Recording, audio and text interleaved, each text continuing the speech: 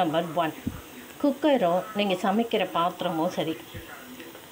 அந்த பாத்திரத்துக்கு வெளியில் சுற்றி நெருப்பு வந்து அடுப்பு எரிய வைக்காதீங்க. இதனால் கேஸ் வீணாகிறது இல்லாமல் பாத்திரமும் பாழாயிடும்.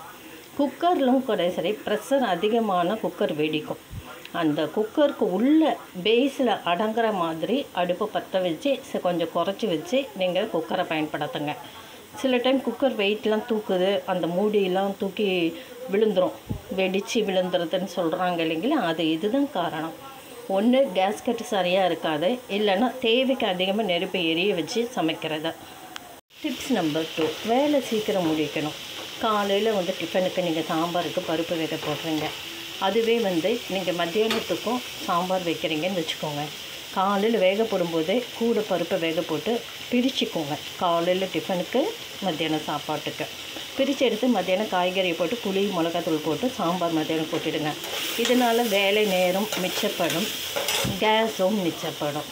இப்போ நான் சாம்பார் அப்படி தான் வச்சேன். காலையில் வச்சுட்டு மிச்சம் இருக்கிற அந்த சாம்பாரோட பருப்பு கொஞ்சம் எடுத்து வச்சேன். காய்கறியை சேர்த்து சாம்பார் ரெடி ஆகிடுத்து ஒரு பக்கம் தாளித்தம் செஞ்சு சாம்பாரை வந்து கொதிக்க வச்சிட்ருக்கேன்.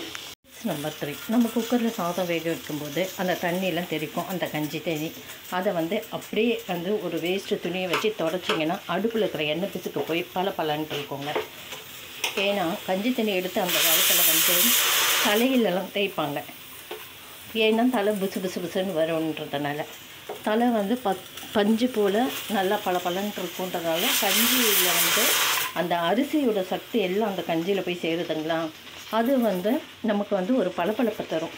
அதனால தான் ஸ்டவ்வில் படுற கஞ்சியை வந்து நீங்கள் துணி போட்டு தொடச்சிங்கன்னா ஸ்டவ் வந்து புது ஸ்டவ் மாதிரி நம்ம முகம் பார்க்கலாம். அந்த அளவுக்கு பளபளன்னு இருக்கும். லைக் பண்ணுங்கள் ஷேர் பண்ணுங்கள் சப்ஸ்கிரைப் பண்ணுங்கள் கமெண்ட் பண்ணுங்கள் நன்றி.